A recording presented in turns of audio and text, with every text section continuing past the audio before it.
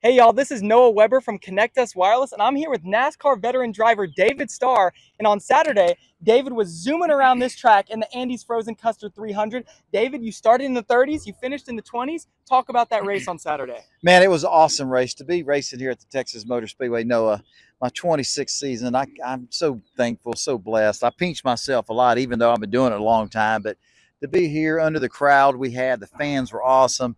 It was a great race. But our uh, Shar Ford was uh, when the race started, it was just okay. Wouldn't turn very good in the center. And Jason Miller, my crew chief, every time we made a pit stop, man, they went to turning every kind of adjustment you could turn.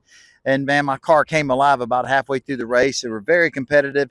We ended up 28th, started dead last, which was I think 38th and uh, finished 28th. Sometimes the race will play out in your favor, and sometimes it doesn't. We had a couple things that go in our favor. We thought we should have been about 18th or 19th, but hey, it was awesome. It was a great day and a, a fabulous finish. David, so with your spotter and with your crew chief, what would you say was the number one adjustment that y'all made during the race that helped you finish so well? Well, it's a lot of communication, you know, a lot of communication back and forth. And I'm just telling my crew chief what my race car is doing, how it's handling. It's all about your thing handles good, you can hold that gas pedal down. You know, you want to hold that gas pedal down as long as you can. There's a lot of speed there. The spotter was trying to give me some information. Hey, your time's better if you go a little bit higher, or when you ran that lap lower, it was faster. So we're communicating back and forth, all of us. But you know, when you work together as a team, man, success comes. And uh, I was just giving them information. They were giving me information, and uh, about halfway through the through the race, we had a great. Our car was awesome now we wish we could have started the race like that, but hey, it was what it was. And when the uh, when they dropped the checker flag, we was happy.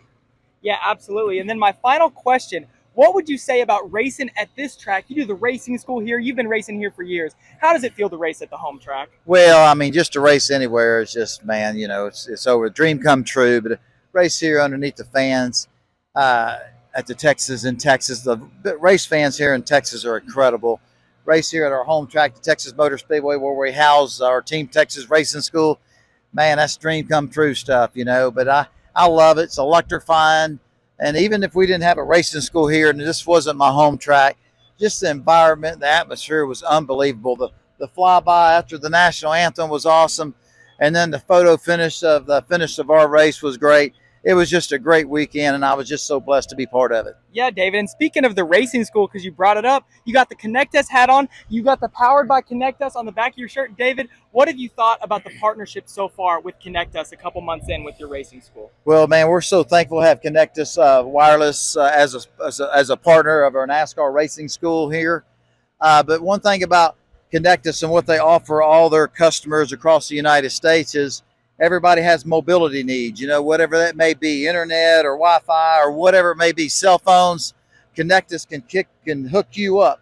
They have an agent anywhere in the country that can help you. And what I've learned is, man, y'all people, y'all y'all are very uh, knowledgeable company. Uh, man, y'all help. You've got a lot of great customers, and I'm just blessed to be part of it. Thank you, ConectUS. Absolutely. Thank you, David.